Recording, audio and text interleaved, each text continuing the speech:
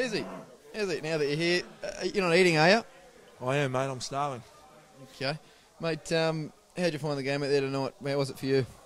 It was pretty good, mate. I enjoyed the atmosphere out there, and um, as a team, I thought we played really well, so it was a good result.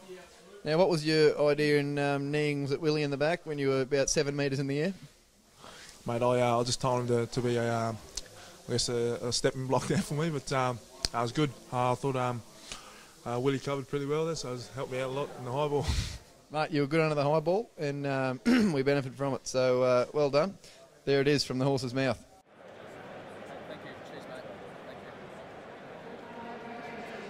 Yeah, everyone loves a bit of meat. So I was first of all I was stoked with that. It was my first test try. Um, but mate, it was a good team performance. You know, two games in a row, two wins. Um, we got to keep this trend going. Well, luckily my old girl's over here, so um, I sent it home with her. So she'll probably take better care of it than I will. And uh, no, um, I was really stoked to get an, get an award like that.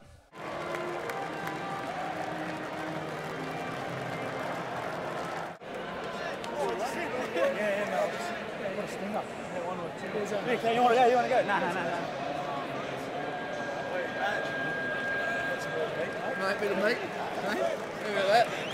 Yeah, yeah, I know it's uh, it's going to be an interesting week. I think tops are three, so first of all, got to get our heads around that, and you know, have another good week of training, and you know, make it three from three. Um, it was our first time this year going two wins in a row, and you know, it's it's a nice feeling.